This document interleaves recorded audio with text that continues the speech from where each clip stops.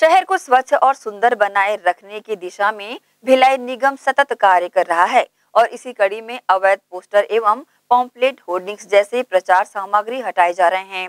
इस पर भिलाई निगम प्रतिदिन कार्रवाई कर रहा है। नगर पालिक निगम भिलाई क्षेत्र अंतर्गत अवैध पोस्टर एवं प्रचार सामग्रियों को लगातार हटाने का काम किया जा रहा है।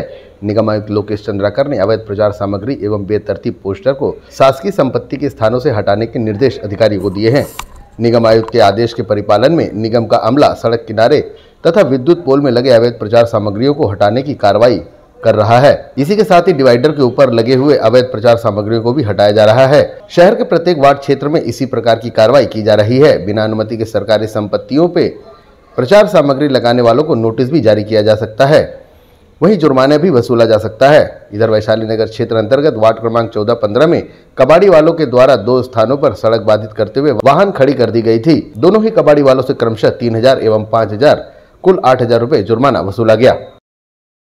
कहाँ गए? देखिए अभी नगर पालिक निगम भिलाई में माननीय महापौर जी के निर्देश पर जो है स्वच्छ भिलाई और सुंदर भिलाई की परियोजना के तहत जो है शहर को साफ़ रखने काम किया जा रहा है। इसी तारतम्य में जो है माननीय आयुक्त महोदय जो है लगातार निरीक्षण भी कर रहे हैं। सुबह प्रातः मॉर्निंग विज़िट में उन्होंने जोन कमिश्नर में निर्देश दिए हैं। जोन कमिश्नर भी अपने अपने क्षेत्रों में निरीक्षण कर रहे हैं। तो जोन कमिश्नर के निरीक्षण के दौरान यह जो दो स्थान थे वहाँ पर जो कबाड़ी हैं कबाड़ी व्यवसायी हैं उनके द्वारा जो है वाहन काफ़ी समय से रखकर अ, सड़क बाधा किया जा रहा था। तो इन दोनों से जो है पाँच हज़ार एक व्यक्ति से और तीन हज़ार एक व्यक्ति से इस प्रकार से जुर्माना वसूल किया गया है और हिदायत दी गई कि सड़क बाधा आप न करें और व्यवस्थित तरीके से अपने जो वाहन समा, वाहन है उनको रखें और सड़क पर न रखें, इस टाइप से हिदायत भी दी गई है।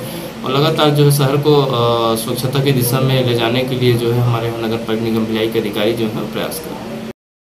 अवैध होर्डिंग पोस्टर प्रचार सामग्री के विरुद्ध निगम ने सख्त कार्रवाई का रवैया अपनाया है। आगे भी इसी प्रकार की कार्रवाई जारी रहेगी। ग्रैंड एशियन न्यूज़ के लिए भिलाई से संतोष शर्मा की रिपोर्ट।